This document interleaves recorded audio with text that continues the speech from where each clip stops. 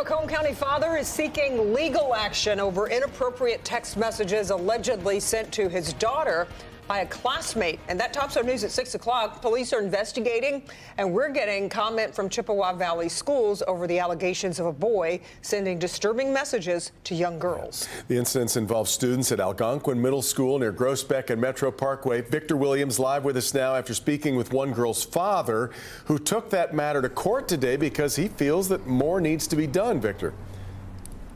Yes, that's totally correct, Evan and Kimberly. You know, the Clinton Township Police Department, they've been looking into the situation, investigating, and then taking their findings and then turning it over to the Macomb County prosecutor. But even still, after all of that, the father that we spoke to is saying that he wishes the school and the school district would have done more themselves. She left a note for me on Thursday night. and It said, Dad, please don't let me go to school tomorrow. Can I please stay home? I don't want to see him. Robert Ellison says his 11 year old daughter just doesn't feel safe anymore going to class at Algonquin Middle School.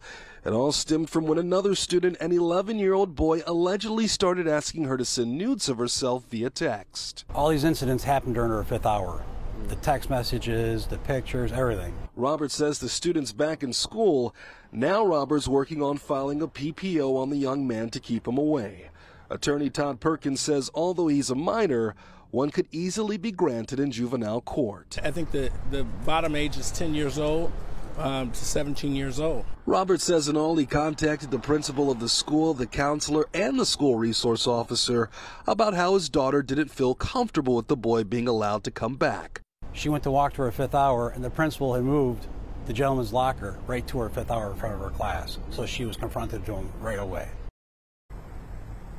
Now, the Chippewa Valley School District did send us the following statement, which in part reads, quote, We immediately referred the matter to the Clinton Township Police Department. A police report was made and is currently with the Macomb County Prosecutor's Office for review.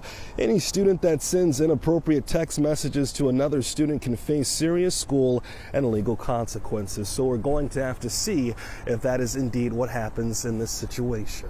At Macomb County, Victor Williams, Local 4. Sure will. All right, Victor.